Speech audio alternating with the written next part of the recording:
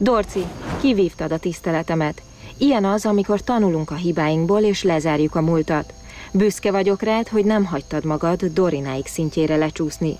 Bogi tanulhatna tőled, csak így tovább. Hát köszönöm szépen. Egyébként ez nagyon jól esik, hogyha ha át tudom adni azt, ami bennem van, és tényleg, tényleg a valódi énemet meg tudom nektek mutatni, és nagyon örülök, hogyha, hogyha ezt ti is látjátok, és így látjátok. Ez tényleg nagyon jól esik egyébként. De mondjuk ezt nem értem, hogy a Dorináik szintjére lesüllyedni. Szerintem itt a Hannás szituáción Ja, volt a hangsúly, lehet. gondolom. Hát semmiképp nem szerettem volna olyan szituációba kerülni, meg hát ilyen vagyok amúgy. Igen, de az a része az tényleg tök jó, hogy átmegy az, hogy milyen vagy, Igen. és hogy effektíve pozitív csalódás így az előző Igen. évadhoz képest, ahol nem ment át. Igen.